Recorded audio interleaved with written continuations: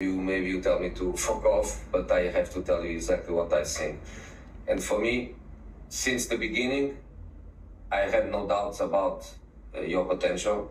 I saw you do incredible matches and incredible things. But I always felt that you had ups and downs.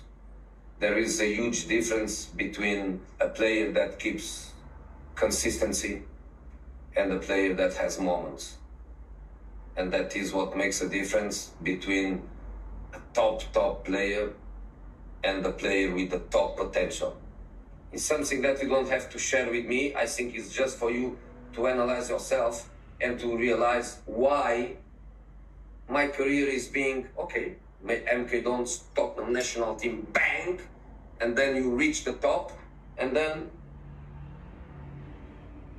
why you have in your career these little ups and downs, I don't know.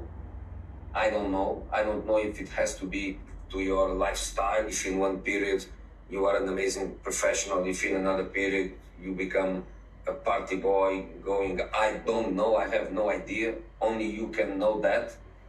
I am 56 now, and yesterday, yesterday, I was 20. You know what I mean? Yeah. And today I'm 56. Time flies. Time flies. And I think one day, I think you will regret if you don't reach what you can reach. I'm not expecting you to be the man of the match every game. I'm not expecting you to score goals every game. I want just to tell you that I think you will regret. You should demand more from you. Not me demanding more from you. Not me. Nobody. You. I think you should demand more from you. Thank you, mate. Thank you. See you later.